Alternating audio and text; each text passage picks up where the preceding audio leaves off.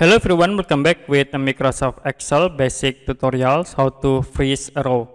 In here I will create a simple tables. I will create at uh, these points. You can create tables and I will change uh, these uh, colors into yellow. So if you want to freeze in the top of uh, rows, you can go to view. The next click freeze pane and you can click here freeze top row it will be automatically freeze on uh, number one. Okay, you, can scroll up and scroll down, so it will be automatically freeze.